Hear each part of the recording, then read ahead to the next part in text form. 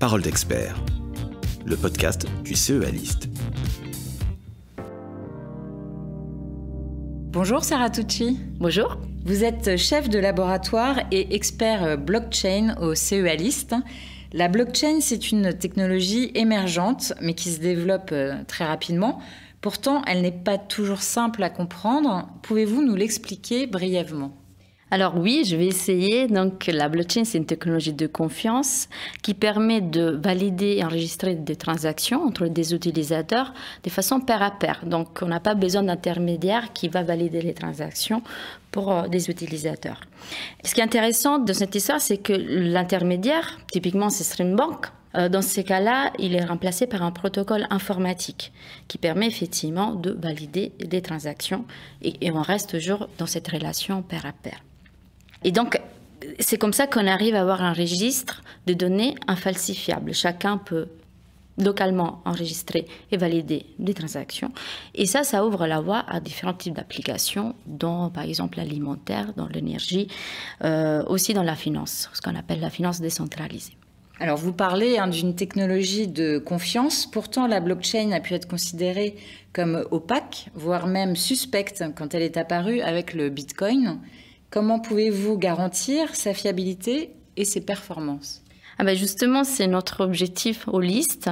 Euh, il faut aussi dire que hum, les limites de la blockchain, surtout pour tout ce qui était les blockchains des premières générations, étaient reliées à la consommation énergétique.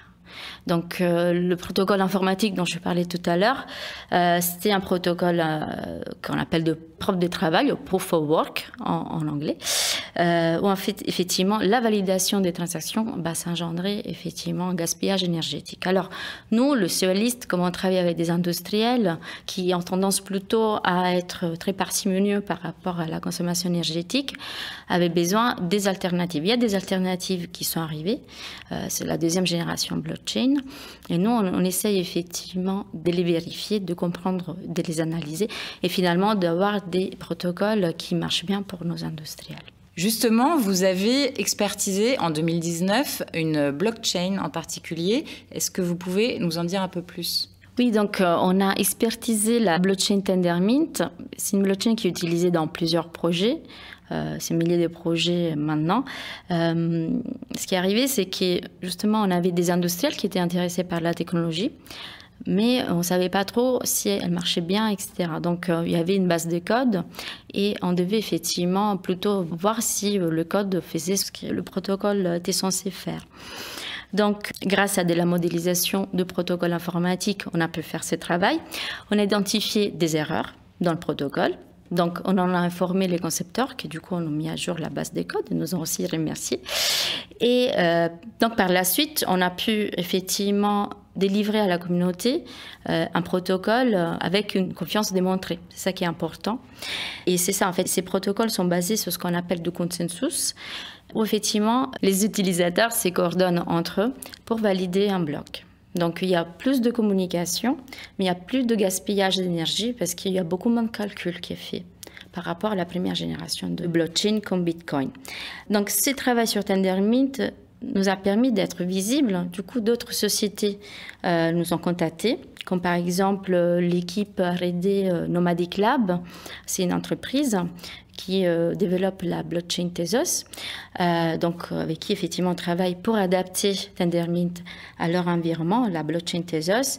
Et puis on a eu d'autres entreprises qui nous ont contactés, toujours pour faire ce travail d'adapter un algorithme de consensus à la blockchain cible et démontrer la validité du protocole.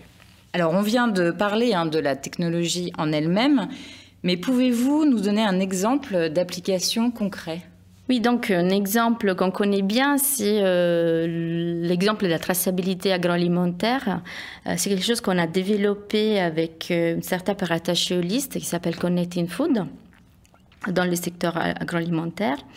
Donc aujourd'hui, Connecting Food est sur le marché avec la solution. Donc il faut dire qu'on est parti vraiment avec une collaboration de R&D et aujourd'hui, ils peuvent travailler euh, et commercialiser une solution.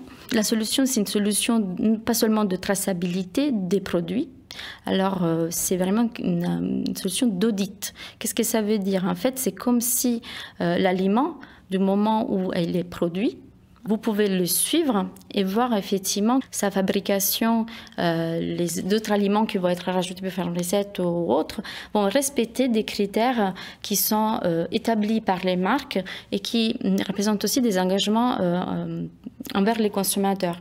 Donc finalement, ce que permet de faire, c'est de euh, à chaque étape de la filière hein, agroalimentaire, on enregistre ce qui arrive à notre aliment et euh, on valide si, oui ou non, les critères sont respectés. Donc, par exemple, un critère, ça peut être un critère d'origine, un critère bio, ou alors euh, des critères, voilà, il n'y a pas d'utilisation d'antibiotiques, etc. Ce qui arrive aujourd'hui, il y a beaucoup de gaspillage qui se fait, qui est dû à des erreurs. C'est-à-dire, par exemple, si vous avez une filière qui est non AGM, par exemple, mais par erreur vous donnez à manger à des, poules quelque chose qui est OGM, là, avec cette méthode, vous pouvez vous en apercevoir tout de suite et rediriger du coup cette production vers une filière différente. Donc, ce qui évite effectivement de gaspiller euh, toute une production. Et là, l'objet de la blockchain hein, dans ce processus, c'est de garantir la fiabilité de toute cette chaîne parce que ce sont des données infalsifiables oui, donc euh, c'est vraiment donner de la valeur à l'étiquette qui est portée par l'aliment. Aujourd'hui, on n'a pas forcément confiance à différents labels. Euh, le fait d'avoir un historique qui est enregistré sur un blockchain et cet historique infalsifiable, effectivement, permet de donner de la confiance à l'étiquette. Et donc, euh, c'est quelque chose qui permet de donner de la transparence et de la confiance au secteur agroalimentaire. Cette technologie, hein, la blockchain, est tellement prometteuse que le gouvernement français a même lancé en 2019 une mission blockchain. Quel est le but de cette mission et quel est le rôle joué par le LIST dans cette initiative gouvernementale? Oui, donc nous, on a été en charge de la rédaction d'un rapport qui identifie les verrous technologiques de la blockchain. Alors, euh, on en parle beaucoup de limites de la blockchain, mais souvent, euh, voilà, sont relayés sur des technologies plutôt type Bitcoin. donc, c'est vrai que c'est des vrais verrous, mais souvent sont un peu imprécis. Et donc, euh, le gouvernement avait besoin de comprendre vraiment euh, ce sont quoi les verrous technologiques, surtout de la deuxième génération blockchain. On ne parle plus effectivement de consommation énergétique. On a d'autres verrous, il fallait les identifier, mais également les prioriser. C'est-à-dire euh, essayer de voir quel verrou il est on va dire, qui est technologique. Il faut juste mettre une équipe d'ingénieurs, euh, travailler, mais puis finalement, on peut commercialiser une solution euh, basée sur blockchain. Ou alors des verrous qui sont plus amont. Donc, il faudrait vraiment une recherche, disons, à 5-10 ans pour lever le verrou. Et donc, une recherche amont pour y arriver. Donc ça, c'est ce qui était euh, le plus important. Important aussi de dire que la mission était confiée aux et à d'autres partenaires comme l'IRIA et l'IMT. L'objectif finalement, pourquoi identifier les verrous, c'est pour euh, accélérer l'adoption de la blockchain dans l'industrie et aussi accélérer le développement de startups qui peuvent s'approprier de la technologie pour euh, être équipés euh, avec des nouvelles solutions sur le marché. Il a été même question de développer une blockchain d'État à un moment donné. Donc ça va souligner effectivement tout ça, l'importance que la blockchain a au niveau aussi stratégique pour l'État. Et maintenant, euh, quelles sont les perspectives, les ruptures technologiques sur lesquelles vous travaillez au LIST On a d'abord un problème de performance dans les blockchains. Donc, ce qu'on cherche à faire, on a parlé tout à l'heure, on a des protocoles. On n'a pas d'intermédiaire, on n'a plus la banque, etc. On a un protocole. Il faut avoir confiance dans le protocole, etc. Mais il faut que le protocole, en fait, puisse valider les transactions à un rythme possible hein, on va dire le plus vite possible. Donc pour ce faire, il faut étudier une nouvelle génération de protocoles qui en fait permettent de gagner beaucoup en termes de nombre d'opérations et surtout nombre de messages échangés. Donc on parlait tout à l'heure de coordination, il faut que la coordination soit légère parce que sinon, on ne va pas pouvoir euh, effectivement traiter beaucoup, beaucoup euh, de transactions. Et ça, c'est un problème. Donc ça, c'est un enjeu important. Euh, en fait, il y a plusieurs acteurs au niveau international qui travaillent sur ce sujet, dans les listes. Et c'est effectivement un projet qui sera vraiment concret, avec des solutions concrètes dans 3-4 ans. L'autre sujet, à plus je dirais, euh, prospective, et c'est un peu à la mode aussi, c'est comment euh, concilier blockchain et intelligence artificielle. C'est-à-dire, est-ce que la blockchain peut apporter quelque chose à l'intelligence artificielle?